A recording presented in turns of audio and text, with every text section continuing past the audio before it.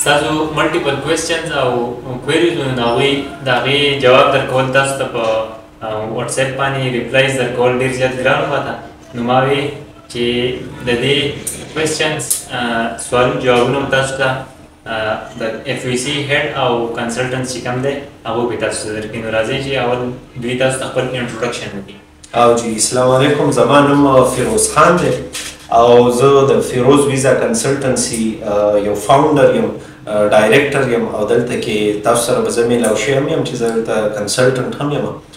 نو دلته کې ډیر کسان به راغلي مي زمونږ زیاتره آډینس چې دی هغو افیس ایټلیسټ وانس ویزټ کړی هم دی نو زه چې دی یو په کوالیفیکیشن بیسس باندې یو سایکولوژیست هم یم یو کوچ یم او دلته کې کنسلټنټ هم یم نو دلته کې موږ ستاسو د کوېسچنې په یو ځای باندې جواب درکولو کوشش کوو تاسو د اف وی سی سټار څنګه اخیستل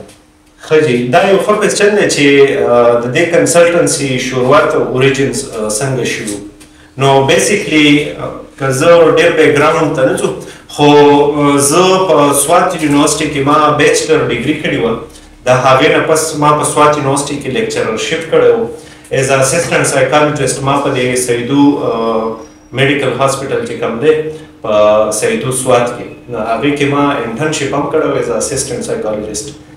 دا هغه نه پس ما فیصله وکړه چې زه یو کې ته د خپل سټډیز لپاره ځم او خپل سایکولوژي کیریئر مخې ته بوزم نو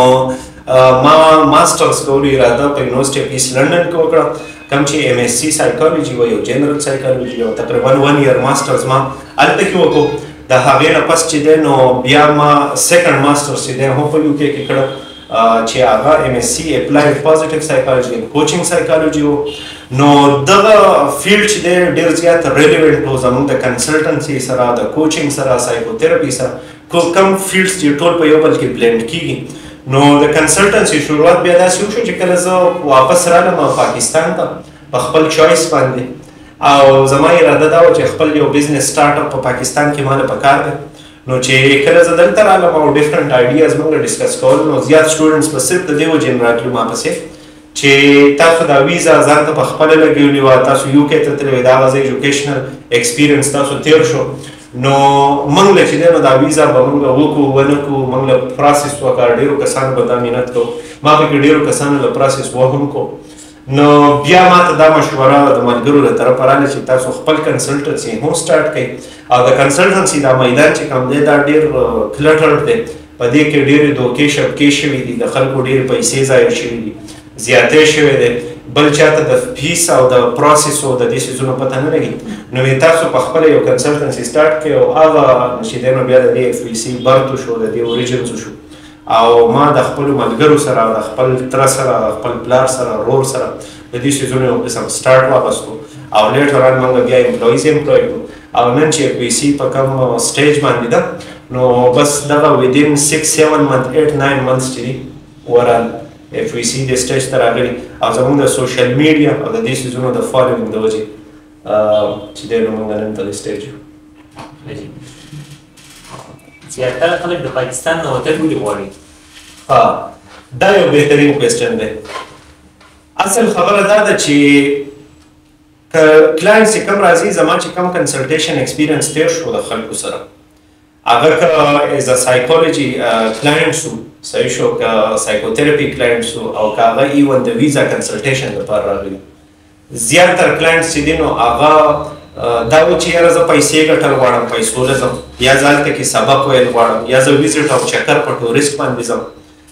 ویزې باندې ځم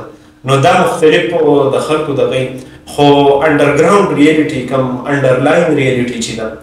کم چې د سړي انټرنسک موټیویشن دی نو هغه که موږ ورته د سایکالوژي په نظر کې وګورو د سړي یو جنرال کیوریاسټي په هر انسان کې انسان چې کله پیدا هم شي که نه تاسو به واړه لیدلي دی دا درازونه ایکسپلور کوي دا انوایرمنټ ایکسپلور کوي دی په هر شي کې ګوتې وهي که نه نو دی دا دنیا ایکسپلور کول غواړي او الټیمیټلی دا خبره زه نه یم چی غلطه ده چی یاره یو سړی سټډی له تله نه غواړی او داسی فیک دروغ وایی یا یو سړی ویزټ او ټور کول نه غواړی دغه کول غواړی بلکل ایجوکیشن کول غواړی هر څه چی خو یو انډرلاین موټیویشن دا هر انسان ماته دسی ده چی هغه بیسیک کیوریاسټی ده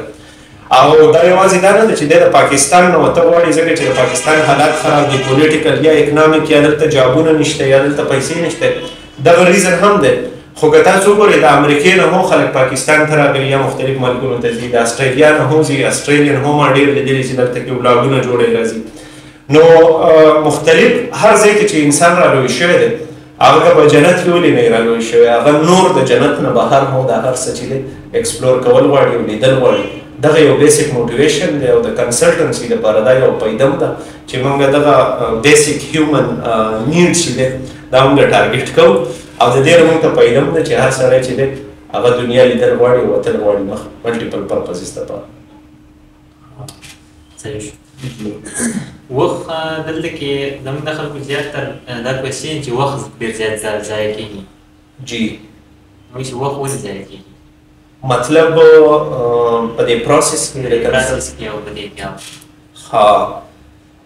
نو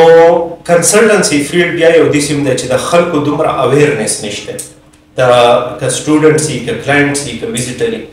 د هغه دومره اویرنس نشته چې یاره اصل کې د دې پروسس ریکوایرمنټ څه دي اصل کې په دې پروسس باندې ټایم څونه لګي په دې باندې دا خرچه څونه لګي خلکو ته په دې میدان کې تیاره ده نو هر سړی چې دی کنسلټنټ چې ورته څه وایي په هغه بیلیف ساتي چې یاره دا ایکسپرټ دی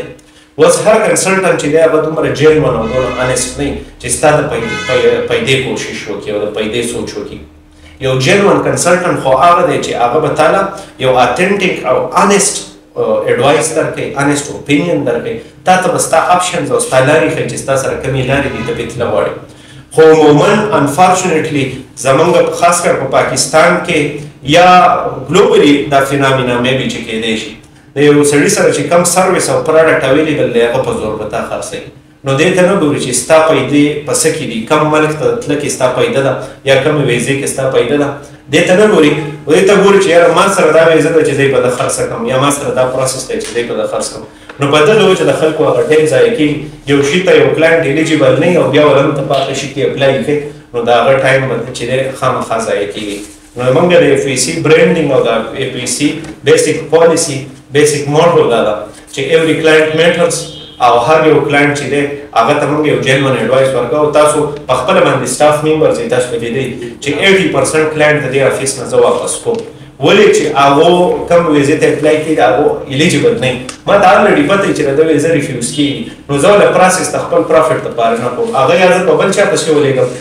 ایون که هغه کنسلټنټ سره زما څه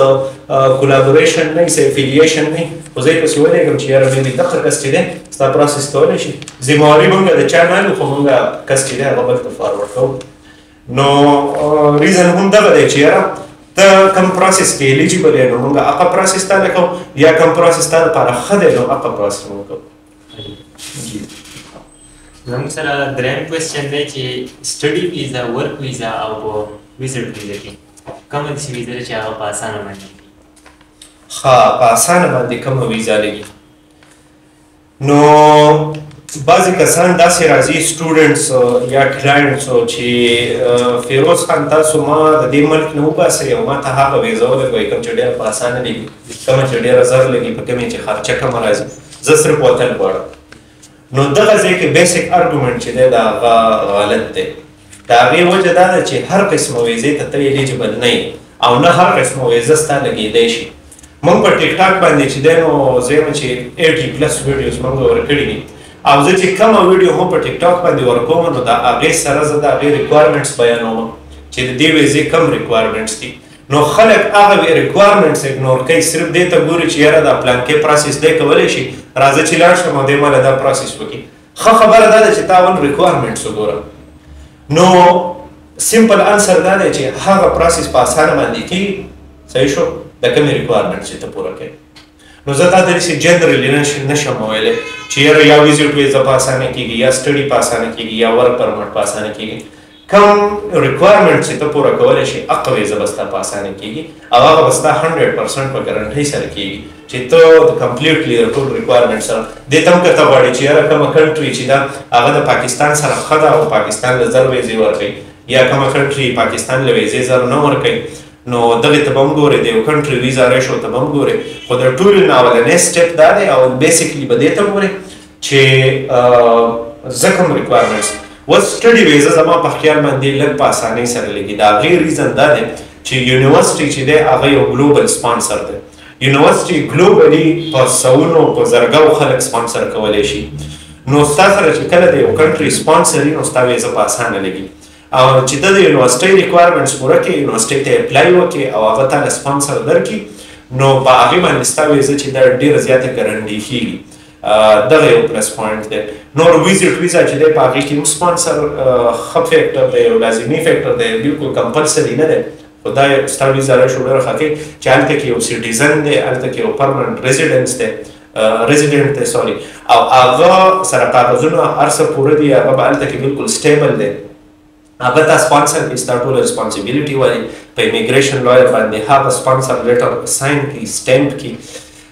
دلته کې وته ته ټول ریکوایرمنټ شو کې الته کې وته ستا سپانسر ټول ریکوایرمنټ شو کې نو هغه ویزه بیا ستا ډیره په اسانه باندې لګي نو چې ته دغه ریکوایرمنټس پوره کولای شي په هغه کې لازمي خبره دا ده چې ستا دلته کې سټیبیلیټي ډیره سټرانګ یی چی هغه ایمیګریشن ته دسی ښکاری که دی سړی راشی نو دی په خپل هوم کنټری ته واپس ریټرن کیږی او دلته به یا اسایلم نه کوي دلته به پاتی کیږی نو نو هغه ویزه ستا په اسانه بیا لګی پاتی شو د ورک ویزه خبره نو ورک ویزه د هغه سړی سره په اسانه لګی چی هغه یو پرس کې یو سکیلډ ورکر دی فار ایگزامپل سکیلډ ورکر دی او هغه جابونو ته داسې امپلایرز ته اپلای وکړي هر کنټری شي داسې امپلایر ته اپلای وکړي چې د هغه امپلایر سره یو سپانسرشپ لایسنس موجود وي چې هغه انټرنیشنل کس اغستی شي نو تا د هغه نه جاب واغستو جاب کنفرمیشن دی واغستو نو تا سپانسر کړي نو په دې درې واړو ویزو کې یو قسم سپانسر لګي که ته سټډ ویزه کې نو یونیورسټي کالج ستا سپانسر دی که ته ویزټ ویزه کې نو ستا ریلیټیو ستا سپانسر دی او که ته ورک ویزه کې نو ستا کمپنی او ستا ارګنایزیشن ستا سپانسر دی نو په کم ځای کې چې سپانسر ته اکوایر کولی شي هغه ویزه ستا په اسانه باندې لګي اوس که یو سړی وایي چې نه زه بلکل ویزټ کوم زما یو سپانسر هم نشته زه ټور ویزې باندې ځم زه چکر لګوم بیا به واپس راځم نو د دغه کس لپاره لازمي دا ده چې د خپل فاینانشل سټیبیلیټي په پاکستان کې وښیي فار ایگزامپل که دی د پاکستان یي که نه او د پاکستان نه ځي نو دی به دلته کې خپل سټیزنشپ ښي دی به دلته کې خپل سټیبیلیټي ښي چې یاره زه که یا دی د بل ملک نه راغلی نو د پاکستان ویزه به ښي ټیک ده که پرس کې افغاني اکثر وایي چې یاره موږ له دې ځای نه پروسس کوو نو تاسو به ویزه شو کوئ مست د پاکستاني بل دا دی چې دلته کې ستا پراپرټي ده، دلته کې ستا ایسټس دي، دلته کې ستا بزنس دی، ستا د بزنس پراپر رجسټریشن دی او د هغې سره ستا بزنس اکاونټ دی او ستا په بزنس اکاونټ کې پراپر ټرانزیکشن شوي دي کوم چې ته شو کولی شي یا که فرض کړې ته جاب شو کوې نو ته به جاب شو کوې، ته ټوریسټ ویزې ته تلل غواړې فاینانشل انکم سورس لازمي دی یا د بزنس شو کو دا د رجسټریشن او سره دا غي سټیټمنټ یا دې کته په جاب باندې نو تا په سلیپ شو کړې او تا دا غي سیلری اکاونټ شو کو یو سترونګ کیس داسې جوړیږي بلکې تاسو خپل ستاسو غنښته سپانسر نشته نو ته چې زه خپل سپانسر داسې وګورم چې زه به یو شارټ کورس ته اپلای وکم په هغه کې به اډمیشن وکم دا غي فیس پور کم نو هغه یونیورسيټي کالج به زما سپانسر شي نو هغسې هم کېږي ستا یو سپانسر تا ځانه پخپله باندې جوړ کړو کوم چې تاله په وېزې کې پیده درکوي نو داسې به زه ووایم چې یو جنریک انسر د دې نشته خو انسر یې دغه دی چې کوم ریکوایرمنټس ته پوره کولی شي نو هغه وېزه به ستا په اسانه ده جی ها پیروز صاحب نو دا سټډي ویزه چې ده د دې ریکوایرمنټس څه دي ها د سټډي ویزې ریکوایرمنټس څه دي نو سټډي ویزا خو ته ملټیپل کنټریز ته کولی شې ټیک شو لکه خبره د پاکستان کوو د پاکستان نه که ته هر کنټري ته په سټډي ویزې باندې ځې بعضې ریکوایرمنټس داسې دي چې هغه به یو انسان خامخا پوره کوي بعضې داسې دي چې هغه کنټري سپیسیفیک دي لګو نو اول خدا د چې ستا پریویس ایجوکیشن څه دی او ته د هغې ریلیونټ ایجوکیشن ته ځې یو ریکوایرمنټ خو به دا پوره کوي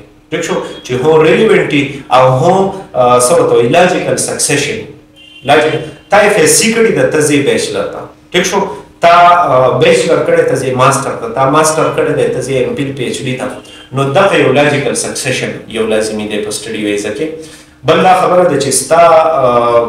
په یونیورسټي ته کوم ځای ته چې ته اپلای کوې کوم کنټري ته د هغې ریکوایرمنټس ته وګورې چې سکور څومره غواړي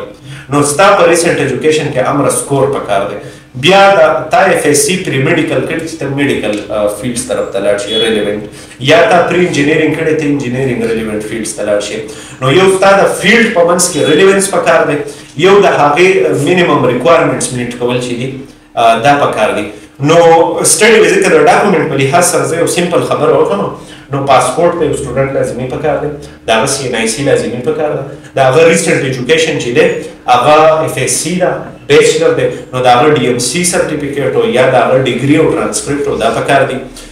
که دی اوس ریسرچ ډیګرۍ له ځي نو بیا په کار ده چې دی خپل سوپروایزر کنوینس کړي هلته پراجیکټ ولیکي ولیږي او یونیورسټي سوپروایزر وایي چې زه ستا سره دا پراجیکټ کوم په ډاکټر ډیګرۍ له ځي او هغه ریسرچ بیس ډیګري ده یا ایم پیل له ځي نو دی له سوپروایزر خپل کنوینس کړي او دا غیر پس په موږ بیا اډمیشن پروسس او ویزا پروسس او بانک سټیټمنټس دا لانجې بوله کوو که پرس کې د یو ټاټ ډیګری لسی لکه ایم ایس سی ډیګری لسی د بیچلر کړی ون یا ماستر کړی یو کې ته فار ایگزامپل نو دی به بیا سپروایزر ته مس کول دا پکې نشته خو دی به پاسپورټ شناختی کارت او ډیګري ترانسکریپټ او اف ایس سی ډي ایم سی سرټیفیکیټ دا سونه به پرووایډ کړي دی به خپل بینک سټیټمنټ پرووایډ کړي چې زه دا سپورټ کولی شم دا خپل سټډي هیچ ټیسټ او دې په انګلیش ټیسټ پرووایډ کې کوم چې ډېر امپورټنټ کوېسچن دی نو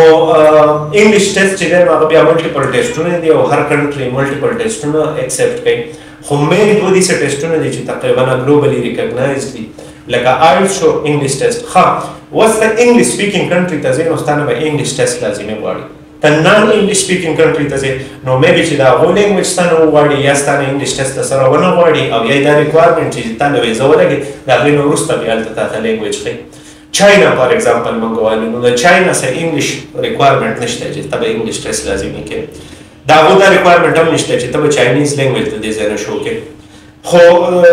ویزا په اسانه باندې ورکوي بل دا دی چې د پاکستان چاینا تعلقات هم ښه دي نو ویزې په اسانه لیکي بل دا دی چې د هغې کاسټ هم کم راځي د آر این بي او د پاکستاني روپو هغه ګیپ دومره دی نو دغه خبره ده چې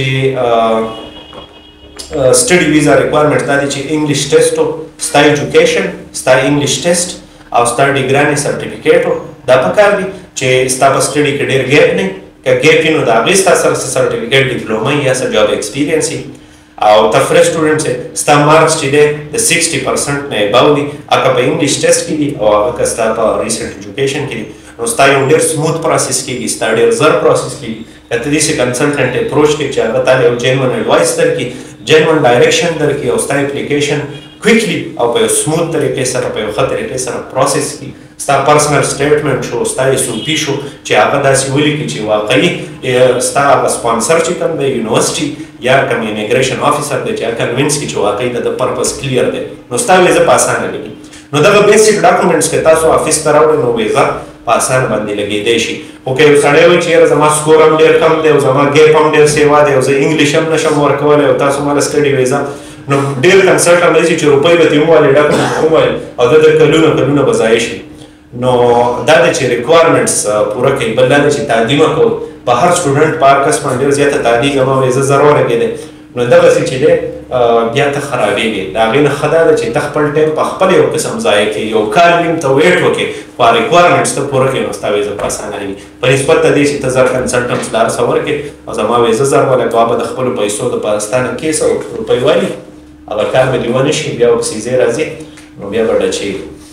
زموږ چې کوم پاکستاني سټوډنټان دي او غواړي چې لکه موږ دې انټرنیشنل سټوډنټان جوړ شو او په بهر ملکونو کې سبق ووایو د هغو لپاره بیسټ اپشن کوم یو دی چې کوم یو ملک ته هغو ریپلای وکړي چې ویزه ورته هم په اسانه میلاو شي او هغه به خپل سبق هم جاري وساتي. ښه چې یو پاکستاني سټوډنټ کوم کنټري ته په سټډي ویزه لاړ شي او کومه کنټري ښه ده داسې تاسو وایي نو زه به بیا ووایم چې دا پرسن ټو پرسن ډیپینډ کوي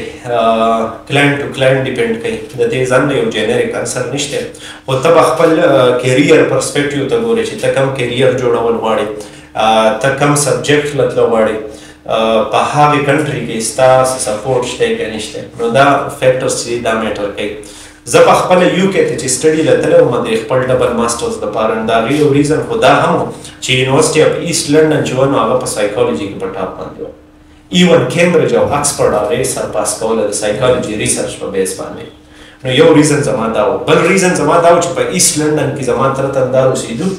او یونیورسټي اف ایست لندن چې نو هغه تر ډېر په شارټ نږدې پرېوته نو هغه زه په دغه هم کنوینس کړم چې یاره د کور د مخې به ډایرک سور بس ته خېږي او شل دېرش منټه لاره به وهې او ډایرک به په یونیورسټۍ کې ناست نو ما دا خو ما ته اسانه شي بل دا دی چې وایي کرایي به په تا باندې نه یو د ما سره وې که نه وروسته خیر بیا هم کرایي شیر کوله د هغه ځای قانون بدل دی خو هغو زه ډېر په دې باندې ګايډ کړم، سپورټ يې کړم، بل دا دی چې لارې ګودرې يې ماته وښووې که نه، ګوګل مېپ به څنګه يوز کړې او څنګه به ګرځې راګرځې، چا ته لارې معلومې نه وي، نو دغه لکه ملټيپل څيزونو کې يې زه ګايډ کړم، نو يو دا دی چې که ستا هلته کې يو بيسز وي، هلته ستا ملګري چې هغه سټوډنټس يې يا په يونيورسټۍ کې ته څوک پېژنې يا دې رشته داران هلته کې وي، نو که هغه تا سپانسر نه کی خو ایز ا ګایډ ایز ا سپورټ تا له هلته کې ایموشنل سایکولوژیکل سپورټ درکړي تا له ایمیګریشنل سپورټ درکړي تا ته لارې ګودرې وښي نو یو پوینټ دغې ته وګورئ ما ته داسې ښکاري بل پوینټ په دې ته ګورئ چې یاره هلته ما ته زما په دې فیلډ کې جاب میلاویږي که نو جاب یو امپورټنټ شی دی هلته کې چې ستا فاینانس سته نه شي مینج کولی نو تاته به مشکلات ډېری نو یو جاب ته ګوري چې تاته هلته کې جاب میلاویږي بل به ته ګوري چې هلته کې زما د دې فیلډ کریر اپرچونټیز څنګه ده بعضې کنټریز داسې دي چې هغه په سپیسیفیک فیلډ کې په سپیسیفیک جاب کې د هغو ډېر نوم جوړ کړی دی که ته هغه ځای ته ځې فار ایګزامپل اوس موږ اسټرالیا والو که ته آی ټي فیلډز طرف ته ځې نو اسټرالیا چې کوم سیکسټي امیګریشنل پوینټس دي هغه ته پوره کې په هغه کې ښه پوینټس چې دي تاته د ستا د آی ټي ریلیټډ کورس هم میلاویږي بل دا دی چې که ته یو خاص پروینس ته ځې نو هغه په پروینشل لیول باندې مو امیګریشن پوینټ سیوا ورکوي که ته میجر سیټي ته نه ځې یو لوکل کنټري سایډ طرف ته ځې نو په هغې کې هم تاله پلس پوینټس درکوي نو دا ملټیپل فیکټرز دی چې دا به د ذهن نه تېری نو بیا به ډیسیجن هلې چې یاره زه دې کنټري ته تله غواړم او په دې ویزه باندې تله غواړم وس سټډي ویزا د هر کنټري بیسټ ده او د هر کنټري ستا لګېدای شي که ته د هغې ریکوایرمنټ پوره کولی شي او ته په دا باندې منټلي په ځان کلیر ساتي چې زه دې کنټري ته ولې ځم د څه لپاره ځم بعضې خلک دا دي چې یار اسټرالیا ته هر سړی روان دی نو زم اسټرالیا ته ځم نو دا لاجیک چې دی دا ټیک نه دی ځکه چې کېدای شي د بعضې سړي لپاره اسټرالیا بیسټ سوټ وي او ستا اسټرالیا په ځای ستا لپاره چاینا بیسټ سوټ وي نو یو صحیح کنسلټنټ با یو سټوډنټ ته دا صحیح اډوایس ورکړي چې ته ستاسو لپاره کم کنټري بیس سوټډ ده کنه او تا ته وکړي کې پیدا راځي چې ستا عمر او ستا ایجوکیشن ایفورت او ستا پیسې ضایع نشي نو دا خبره ده یعنی د څنګه چې دا اوس په جواب کې د استرالیا منشن کړه نو په دې سره ماته یو بل سوال ځین تراله چې د استرالیا د ویزا ریشو ولې دومره کمه ده ښه اصل کې به زه دا خبره وکړم چې د استرالیا ویزا ریشو خو هم کمه ده دا خبره صحیح ده چې د استرالیا ویزا ریشو کمه ده د پاکستاني پاسپورت ته پاس کنه نورمال ګورو له باور کوي پاکستان له یو په دې نور کوي چې زیات تر کده سوات مثال منګ ورکو یا د نور ویلا په پاکستاني ډیر زیات تللی دی ورته یا اسایلم کړ یا پټ شي یا یونیورسيټي ته نه ځي سبق نه وایي یا خپل اټینډنس نه کوي یا خپل ریسرچ نشي کمپلیټ کولای نو د دې هغه ریکورډ کیپینګ چې دی هغه اسټرالیا ایمیګریشن پې چې د کم کنټري نه څونه ډیر خلک مونږ ته راغلي په هغه کې څونه سکسیسفول شو څونه سټیزنشپ واغستو څونه پټ شو په غلا شو ټیک شو نو که دغه شانتي د یوې علاقې نه ډېر خلک لاړ شي او هغه په غلا شي نو هغه دغه ریډ ټیک یا چې دا ریډ فلیګ دی دی که راځي نو که دی ابسولوټلی پرفیکټ کیس نه و نو دی به موږ ریفیوز کوو ولې چې د دې علاقې چې کوم خلک راغلي دا هغو خو اسایلم یې کړي دي اینډ وي ډونټ وانټ اني مور اسایلمز نو دا بیسیک پوینټ پکې که نه بل مین پوینټ دا دی چې د استرالیا ته که ته په کالج لیول باندې اپلای کړې نو هر سړی اپلای کالج لیول باندې کولی شي ته ځان لکه کې وای انسټیټیوټ دی په هغه کې ما ډېر ویل چې خلکو کړي دي که نه کیم زون انسټیټیوټ وته وي دا غي ویب سایټ باندې ته داسې ایزیلی اپلای کولای شې چې بس یو پیج دی ډاکومېنټس ورته زر زر اپلوډ کړه او نیکسټ نیکسټ او ستا اپلیکیشن سبمیټ شو په هغې کې هم د خلکو ویزې لګېدلي دي خو په کالج لیول باندې چې ته کله کې نو ستا ویزا ریشو کمزوري ده ته چې په یونیورسټي لیول باندې کې په اسټرالیا کې نو ستا ویزا ریشو ښه ده اوس په دې کې دوه پوینټس دي اوس په یونیورسټي لیول باندې چې ته کې نو ستا د انګلیش ریکوایرمنټس هم سیوا غواړي ستا مارک سم سیوا غواړي او بل دا دی چې ستا خرچه پم سیوا راځي او بل پوینټ دا دی چې په یونیورسيټي لیول باندې ته په خپل اپلای کولای نه شي هغه لپاره ستا لپاره یو اترایزډ ایجنټ پکار دی کوم چې کیو ای ای سی نه کوالیفایډ لکه کوالیفایډ ایجوکیشنل ایجنټ سرټیفیکټ وته چې هغه ایگزام دې ته پاس کې نو ته د یونیورسيټي سره بیا رجسټریشن ته اپلای وکې ته چې د استرالیا یونیورسيټي سره رجسټر شې نو ته بیا سټوډنټ په یونیورسيټي کې اډمیشن اغستې شي نو ته تک یو ای ای سی تاله پکار دی ها که تک یو ای ای سی کوالیفای کې ته د یونیورسټیانو سره یو اترایزډ ایجنټ کې نو بیا هو د ویزې د اپلای لپاره تاله یو مارا ایجنټ پکار دی کوم چې مایګریشنل ایجنټ رجسټریشن اتارټیز دی په استرالیا کې نو طالب په یونیورسټي کې هغه سړی اډمیشن لري چې هغه د کیو ای ای سی نه کوالیفای او طالب ویزې ته هغه سړی اپلای کوي چې هغه مارا ایجنټ نو دا دوه کسان په استرالیا کې میجر ریکوایرمنټس دي چې په دې په ترو به ته اپلای کوي نو دا بس یو ټیم زموږ سره شته ون پات مایګریشن ته نوم دی په استرالیا سټیزن دی ما له ایجنټ په همیشه سټیزن یا هغه بغیر د غیر نشي کېدی استرالین سټیزن وای نو زموږ سره دغه ټیم شته نو موږ یو جنون سټوډنټ چې په ریکوایرمنټ هر څه باندې پوره یې بانک سټیټمنټ او دا هغه پیسې روپۍ هر څه پوره کولای شي انګلیش کور پوره کولای شي دا هغه سټډي ګیپ نه په هر لحاظ باندې وایي په سوت وایي سل کراتو پوري نو هغه سټوډنټ له موږ په استرالیا کې ول پر مایګریشن په ترو باندې اپلای کولای شو او دا هغه ویزا راشو بیا ډیره خره صحیح شو ایون کا استرالیا نه خو ویزا راشو خره ولی ته له پدې سنگل لاغلی چې هغه تا نه ریفیوز کوي اوس دا په کور کې ځان په خپل په کالج کې په لیول اپلای وکړه یا دې سی ایجنټ پسې تراړې کنسلټنټ پسې چی هغه تاله په کالج لیول اپلای وکړه نو هغه ځکه تاله اپلای کوي چی ته وایې چی خرچه پی کمه راشی نو په کالج کی خرچه کمه ده یو ته وایې چی انګلیش ریکوایرمنټ زما ډیر کم دی پی ټی ای کی زما د ففټی نه لاندی نمبری دی ته ماله په اسټرالیا کی وکړه جو هغه هم تاله په دغی کالج لیول باندی اپلای وکړي بیا ستا ویزی ریفیوز کیږي بیا هر سړی وایي چی د اسټرالیا ویزه رش او کمزوری ده او دومره کسان ریفیوز شو نو مین وجه هم دغه ده چې ته په ترو پراپر چینل باندې نه راځي ها زموږ به بل سوال دا دی چې دا پاکستاني پاسپورت باندې دا انفیوزل ډېر زیات راځي چې دا دا څه وجه کېدای شي ها هغه څوک د ویزټ لپاره کوي یا د ورک پرمټ لپاره د سټډي کار سي دا خبره صحیح ده نو د پاسپورت خو یو ګلوبل رینکینګ هم ګلوبل رینکینګ د هر پاسپورټ یې کنه خلک وایي چې یاره په کم پاسپورټ څونه پاور پول دی په دنیا کې نو چا خبره وي منګه په لاندې غاړي زما خیال دی په دریم څلورم رینک باندې پوزیشن باندې یو کنه په پاسپورټ په لحاظ نو شین پاسپورټ خو یو په دغه باندې کمزورې دی او د هغې غلطیانې څه زموږ د کرپشن وجه ده، څه زموږ د پولیټیکل سیستم وجه ده، څه زموږ اکنامیکل حالات دي، څه زموږ د خلکو دوکه بازیانې او کرپشن دی چې یاره موږ لاړ شو نو په هغې بلتونو کې موږ یو ښه بیهیویر، یو پراپر سیټیزن شیپ موږ نه شو کوو. هلته کې چې دی نو موږ لکه یا اسایلمي کوو، یا پټیږو، یا په یوه بهانه لاړ شو نو بل کنټري ته واوړو. نو دا چلونه مونږ کوو په دې وجه زمونږ د پاسپورټ کمزوری دی، رینکینګ کمزوری دی، زمونږ پولیټیکل حالات چې دي هغه سټیبل نه دي، زمونږ د ملک اکانمي چې ده نو هغه سټرانګ نه ده، دا ملټیپل دغه کیدای شي چې د هغې پاسپورټ باندې ریفیوزلي راځي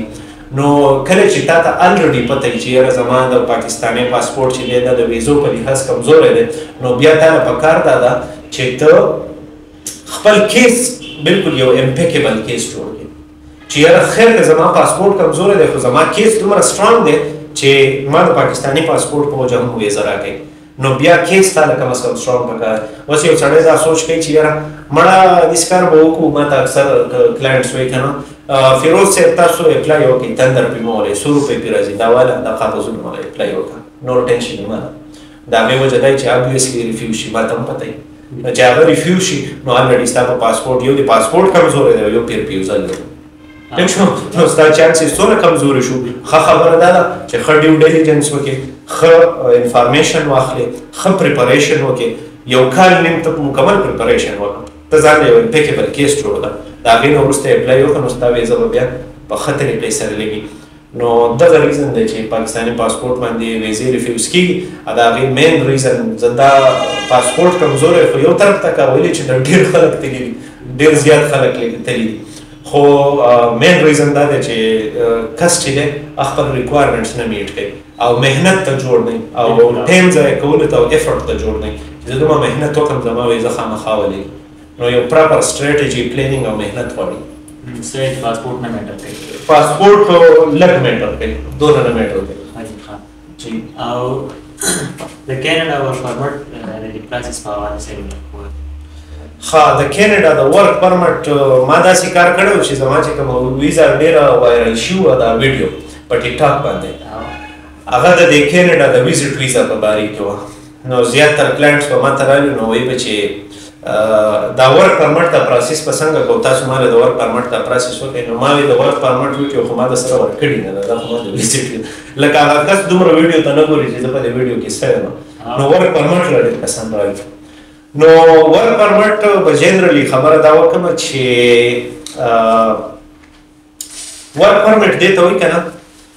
چی ته د یو کمپنی نه جاب والی صحیح ده نارملی داسې کیږي لکه اوس په استرالیا کې رجسټرډ کمپنیانې دي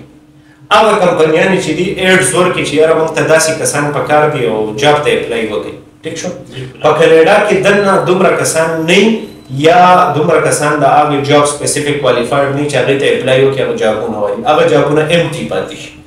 چې هغه جابونه ویکنټ پاتې شي نو دې داسې کار وکړي چې حکومت ته هغه خپل دغه وخت ایډ ریکارډ چې موږ دومره ایډز ورکړو موږ ته جابونه میلاو نه شو تاسو موږ له سپانسرشپ لایسنس راکړئ چې موږ انټرنیشنل کسان وایو نو دا دغه حکومت چې دی دته د سپانسرشپ لایسنس ورکړي کوم ته چې ال ایم آی ای وي صحیح شو نو دا ال ایم آی ای حکومت دته پرووایډ کړي د دې مطلب دا دی چې دا یو سپانسرډ کمپنی ده د انټرنیشنل کلاینټ مسابقه شي نو ته چې کله جابز ډاټ سي ای ویب سایټ باندې اپ باندې اپلای کې نو ته به انټرنیشنل ته چیک مارک وکړې چې زه انټرنیشنل کلاینټ او زه جاب هله م په کینیډا باندې کنه نو هغه رجسټرډ کمپنیان چې دي دا هغو سره به ته جاب وایي دا هغو ریکوایرمنټ به پوره کړي تا جاب واغوستو هغه جاب اپروول درکړي هغه جاب اپروول ته ورک پرمټ وایي نو په هغې بیس باندې به ته صرف ویزې ته بیا اپلای کوې نو دا جاب دي سي عباسته کیږي خاص دا دی کوس یو ریډ سیل ډیفرنٹ پروګرام شته او ریډ سیل پروګرام بیا داسې دی چې مختلف کم لیبر ویزه مو ته موږ وایو یا داسې ډیر های سکیلډ ورک نه لکه اوس ترکان شو انګر شو صحیح شو میسن شو ګیلکار شو دا ټایپ خلک چې دي نو هغه په دغه ریډ سیل پروګرام کې دی اپلای کولی شي خو هغه به داسې چې کله د دې ویزا ولګي او دې هلته لاړ شي یو خو به دلته کې څه سرټیفیکیټ ښي خپل څه پورټفولیو به ښي چې یاره دا کارونه ما کړي دي او دا زما سره سرټیفیکیټ دی دا زما سره کوالیفیکیشن دی دا کار زه کوم ایکسپیرینس به شو کوي او چې هلته کې هغه ورسي نو هلته کې به د هغو بیا ټیسټ کوي چې تا خو دا هر څه ماته شو کړي دي خو ته اوس ماته پرېکټیکلي شو که چې ستا کې سکیل څونه دی نو د هغې په بیس به بیا تا له جاب درکوي او دغه به داسې یو ورک تر ګټي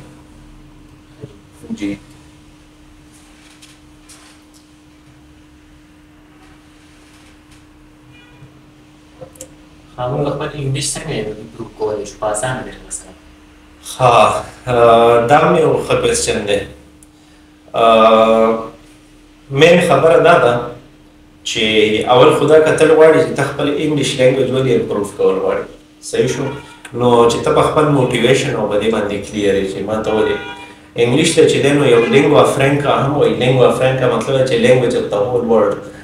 دا د ټولې دنیا ژبه ده. د هغې مطلب دا دی چې زیات تر خلک په دنیا کې داسې دي چې انګلیش لینګویج انډرسټینډ کولی شي څه نه څه. د هغې هغه ګلوبل پاپولیرټي دونه ده د دې لینګویج صحیح شو کوم چې فرسټ ورلډ کنټریز دي لکه امریکا، اسټرالیا، کینیډا، یو ایس که نه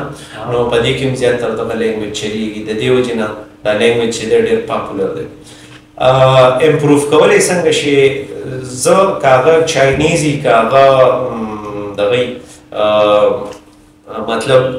رشین وي هر څه ژبه چې هغه وي چې یو نوی لینګویج زده کوي نو ښه خبره دا ده چې دی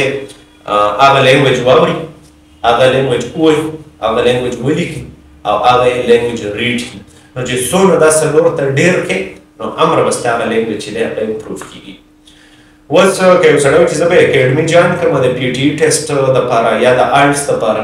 او زه به هلته زما انګلیش امپروف شي نو دغه ستا انګلیش نه امپروف کوي دی تا ته صرف د ټیسټ د پاس کولو طریقه ښیي پوه شو انګلیش امپروف کول خپل چې دی دا یو لانګ ټرم سټراټیجي ده په دې کې ډېر ټایم لګي نو که ته فلمونه ګورې په انګلیش کې ته ګانې اورې په انګلیش کې ته انټرویوز اورې ته ډاکومنټریز اورې هر څه چې ته په ویډیو فارم په انګلیش کې اورې که کارټونز دي انیمیز دي هغه د هغې نه د انګلیش لرننګ ته کولی شي، ته یې د سبټایټل سره اورې. بل دا دی چې تا خپل انګلیش لینګویج چې دی هغه پریکټس کړئ د چا سره تر چا سره په انګلیش کې کنورسیشن دی ټیک شو نو یو هیو ټو لیسن ټو انګلیش یو هیو ټو سپیک اټ یو هیو ټو ریډ اټ یو هیو ټو رائټ اټ یو هیو ټو میک سمال کنورسیشنز وذ سمبډي هو کین انډرسټینډ انګلیش ټیک شو نو انګلیش چې دا پریکټیس کول غواړي د چا سره او بل زما پرسنلی چې انګلیش کې ما کله 7 بیلډ راوسته او د خپل سټډي ویزې لپاره نو ما دې چې اکیډمي سره نو جوائن کړی او ما آیلټس بوکونه ځان اغستی او خپل کور ډیره کې ما تیار کړم خو زما بیسیک انګلیش لیول خو ټیک شو ما د آیلټس په میتډولوژي زده کړه او هغه می پریکټیس کړه خو د انګلیش لیول الریډي زما خو هغه خپه دی چې ما د وړوکوالي نه چې دی نو د هالیوډ موویز کتل، ما ډاکومنټریز کتل، ما ټاک شوز او دا سټینډ اپ کمیډینز دا هر څه ما په انګلیش کې اورېدل نو د هغې د وجې زما انګلیش بیسیکبیلټي ښه وه، په دې وجه ما آیلټس طریقه یې زده کړه او پریکټس ټیسټونه مې ورکړو او بیا آیلټس ټیسټ ته لاړم. نو سمپل الفاظو کې به د انګلیش امپروف کېدو لپاره زه دا ووایم چې تاسو ټیم ورک کوئ. انګلیش د امپروف کولو لپاره لازمي دا ده چې ستاسو سره لایک ماینډډ کسان وي او تاسو په ټیم ورک باندې دا پریکټس کوئ، د ملګرو سره پریکټس کوئ. بل دا دی چې تاسو اورئ، لیسننګ ابیلیټي، ډیفرنټ اکسنټ والا خلک واورئ، سکاټش کسان واورئ، آیرش واورئ، برټش واورئ، تاسو ساري یو کې والا کسان واورئ، یا امریکن واورئ اسټریلیان ډیفرنټ اکسنټس تاسو واورئ چې تاسو هغه لیسننګ ابیلیټي ښه بل دا چې پریکټس ته ملګرو سره کوئ بیک اند فورت کنورسیشن په انګلیش کې کوئ نو هغه به امپروو شي او بل دا چې ریډینګ ښه شی دی که څوک بوک ریډینګ پریفر کوي تاسو ریډ کوي په هغې ځان پوه کوئ کوم ټکي باندې مونږ نه پوهېږئ نو سکیپ کوئ یو په ګوګل باندې هغې مینینګ سرچ کوئ نو دغه یو بیسک سټرټجي خلي نو زموږ بل کوېسچن دا دی چې له ټولو نه اسانه او سیټسفاید سټډي ویزه چې کوم ده دا کوم کنټري ده چې په اسانه باندې هم پکې سیټسفاید وي مطلب چې سټوډنټ پکې خوشاله وي سټوډنټ پکې خوشاله وي مین خبره دا ده چې ته سټډي ویزې ته د کم پرپز لپاره تلل غواړې یا کم کنټري ته مطلب ته تلل غواړې د سټډي ویزې لپاره نو که ته داسې کنټري غواړې چې یاره هغه اکنامیک اپشن یې د هغې خرچه کموي یا داسې سټډي ویزه چې هغه زر لګي یا داسې سټډي ویزه چې ماته پکې سکالرشیپ میلاو شي یا داسې چې انګلیش سپیکینګ کنټري یا یو ډېره غټه ګلوبلي ریکګنایز یونیورسټي نو دا ملټیپل ستا کرایټیریا کېدای شي خو که زه داسې خبره وکړم چې یاره پاکستاني پاسپورټ باندې په اسانه لګي سکالرشپ هم په اسانه میلاویږي خرچې هم کموي ستا د یونیورسټۍ فیس هم نه وي ستا د اکوموډیشن خرچه هم نه وي تا له منتلي سټایپنډ هم درکوي روپۍ در هم واپس درکوي او ویزه دې هم ډېر په ګرنټۍ سره لګي نو ویزه رش هم ډېره سټرونګ وي بل دا چې ګلوبلي ریکګنایزډ یونیورسټي او ستا کوالیفیکیشن اکسپټیبل نو دغه اپشن زه یم چی د چاینا نه علاوه د پاکستانی کس لپاره د چاینا نه علاوه دغه بل اپشن نشته ځکه چی چاینا کی دغه ټولی خبری دی کمی چی ما وکړ نو د چاینا سټډی ویزه په دغه اخله باندی یو سیټیسفیکټری ویزه ده او دا په اسانه باندی لیږی د دی ریکوایرمنټس دونه نشته سکالرشیپ هم ورکوي نو زما که زما په نيز باندې خو یو سړی ایجوکیشن لته لواړي چې خرچه په کم راشي او ایجوکیشن خو شي او په ډیفرنٹ کنټری کې وشي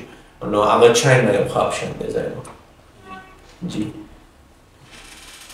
ټوټل کاسټ په یوه ویزه چې دا تقریبا دا څومره راځي لکه اکثر زیاتره خلک دا تاسو کوي کنه چې کاسټ څومره دی ها د کاست خبره کیږي زه به یو جنریک هم سره تاسو له درکم چې سټډي ویزه خرچه په دې باندې ډیپند کوي چې ټول ناول ستاسو د یونیورسيټي فیس څونه دی نو د یونیورسيټي فیس په تګوري ټیک شو بیا هغه یونیورسيټي په فیس کې به ته د دې ځای نه څونه لګي کوم ته چې انیشل ډیپازیټ وایي نو انیشل ډیپازیټ ته به ته ګورې بیا به دې ته ګورې چې د دې ویزا کاسټ څونه دی چې زه ویزې ته اپلای کوم نو دا امیګریشن کاسټ څونه دی یو به دغه ته ګورې بل هیلت انشورنس به زه څونه پی کوم هیلت انشورنس بل ټیکټ باندې به زما څو خرچه راځي نو دا سیزونه هغه دي چې هغه ټوټل کاست جوړي اوس دا یونیورسيټي چې یونیورسيټي هم ډیفر کیږي او ابویسلی کنټری ټو کنټری هم ډیفر کیږي نو ته به دې ملټیپل فیکټرز ته ګورې ځکه اوس تا ته داسې یو راوند اباوټ فیګر ووایم چې یاره د بیس لاک نه والا د پچیس لاک روپو پورې ستا خرچه د یو کې په سټډي ویزه باندې راتلی شي نو کیدای شي چې دا خبره دوه ورځې پس درې ورځې پس بالکل ډیفرنټ یا غلطه نو ته به بل دا دی چې بعضې يونيورسټي به داسې وي چې هغه به تري تاوزنډ پاونډز تا نه انيشل ډپازټ غواړي بعضې به نه سکس او ټين غواړي بعضې يونيورسټي به داسې وي چې ها ويزا اپليکيشن في چې ده نو هغه خو د ټولو يونيورسټيانو دې لپاره يو شانتي کوم ته چې ټير فور سټډي ويزا وي د يو کې لپاره نو هغه وخت تقریبا تری ففټي ټو فور ففټي پاونډ سي دي خواوشا د هغې فیس دی دغه شانتې به کې آی ایچ ایس انټرنیشنل هیلت سرویس نو هغه به له دې ځای نه ته لکه هیلت انشورنس به ته پې کې پې کې نو هغه به پې کې انیشل ډیپازیټ به پې کې او ستا چې د کنسلټنټ څه چارجز دي نو هغه کنسلټیشن چارجز به پې کې نو دغه راوند اباوټ د سټډي ویزې هغه فیګر جوړوي او دا اکثر دا سوال چې ډېر دا خلک په ویزټ کې هم کوي او په ورک پرمټ کې هم کوي پرمټ کې هم کوي ها او ویزټ کې خو لازمي دا ده کنه چې ته څو ورځې د پاره ځې او ته کم کنټري ته ځې او هلته به ته څه سکې نو د دې به ټول ته په کور لیټر کې کیلکولیشن لازمي راوباسې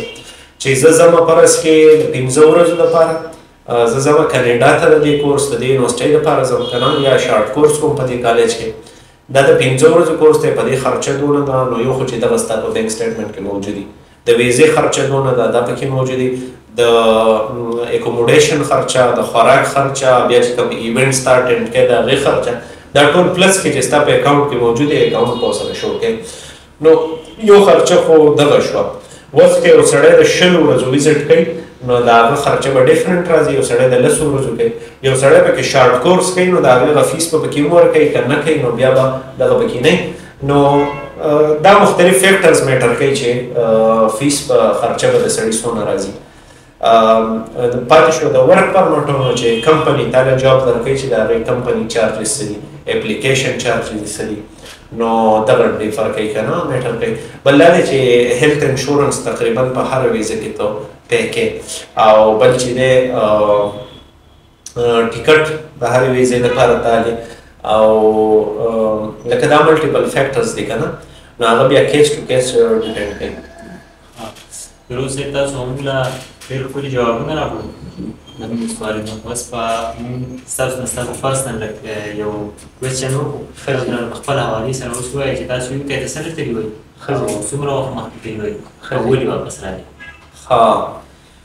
نو دا هم یو ښه کوېسچن دی ما چې څنګه سټارټ کې تاسو ته لږ ډېر ویلي هم دی چې زه تللی د سټډي ویزې دپاره وم خو که تاسو ته ریالیټي ووایم نو زه صرف د دې دپاره تللی وم بیسیکلي ایجوکیشن ما دلته هم کولی شو خو زه دې دپاره تللی وم چې زه یو انټرنیشنل انوایرمنټ چې دی هغه ایکسپیرینس کړم او برټن چی دی نو هغه ما د ډیر وخت نه اډمایر کوو خاص کر د اکسفورډ او کیمبرج یونیورسټیانی د هغی هغه کوم ایډز چی دی د هغی چی کوم سوشل میډیا ته نو هغه به ما کته او بل دا دی چی زه د دغه سوسایټی نه یو قسمه انسپایر وم ګوره دی فیکټر ته به ګورو سایکولوژیکل چی هر سړی په کور کی ټیک ټاک او فیسبوک او دا سیزونه ډیر ګوری او ټوله په هغه کې 80 90 پرسنټ ته ته ویسټرن دنیا ښکاري نو چې یو شی ته ثابت او ورځ شپه ګورې نو انسان وایي چې یاره زه دې ماحول ته لاړې او دا ما په خپلو سترګو ایکسپیرینس کړ نو دغه یو انټرنسک موټیویشن د سړي په زړه کې خامخا نور که ته سبق لځې او که ویزټ لځې خو بیسیکلی ته د دغه موټیویشن د وجې ځې اوس یو کنسلټنټ ته خو ته دا نشې ویلی چې یاره ما له سټډي ویزه ځکه وکړه چې زه لیدل غواړم دا کنټري یا زه انټرنیشنل ملګري خپل جوړول غواړم نو زه د دغه وجې نه تللی وم سټډي ویزه له تلو مخیر ما چې فارن ډیګری را سره یو ته کې ځان سیټل کوم حال ته کې زه سټیزن شپ وارم کوم چې دار سړي خواهش ته بیا منځ کې چې دینو د خلکو اراده خلکو پلانینګ او سټریټجی بدلیږي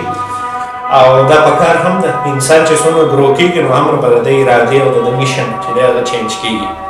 نو زه تللی سټډي ویزې لرم هلته مې دغه وکړو ښه هلته مې جابز وکړو هلته کې چې دی نو ما سایکالوجي په یو پرایویټ سکول کې بیا ټیچ هم کړه ما ته دغه جاب هم میلاو شو او نور مو سره داسې د سیکیورټي کارونه هم کړي دي دغه شانتې مې په رستورانټ کې کارونه هم کړي دي او دا خو هر انسان به کوي که نه یې نشي پیسې ریکوایرډ دي ته چی لاړ شی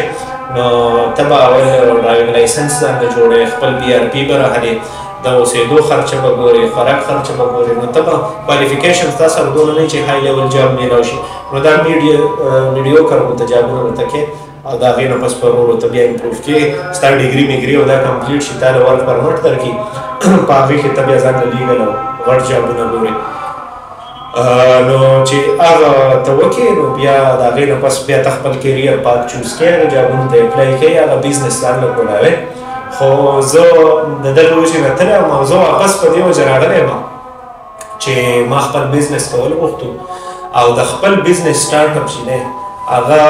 په پاکستان کې چې څونه ایزي دی د یو پاکستاني سټیزن لپاره نو دومره په بهر ملکونو کې ایزي نه دی ایون د برټش کس لپاره هم په برټن کې بزنس سٹارټ اپ دونه دی ته چې یو پیټنټ اپروف کې ته چې یو رجسټریشن کې ته چې یو اکاونټنټ هایر کې یو اډیټر هایر کې سید ته چې خپل سوشل میډیا کې نو الته کې ډېر کاست غواړي په نسبت د دې ما ته خو داسې ښکاري چې زما لپاره کرنټلي پاکستان یو بیسټ کنټري ده بیسټ کنټري ان د ورلډ زما لپاره د پښین پاسپورت تر د پاکستان ځکه زه دلته ناست یم ما ته په خپله داسې ښکاري زما اراده زما فیملی دلته ده مور مور مې دلته ده کوم چې موږ له پخلی کوي جامې مینځي زما باندې دغه هیډک نشته زه میرډ نه یم دغه وجه ده کوم چې زه سون اباوټ میرټ کنه بل دا دی چې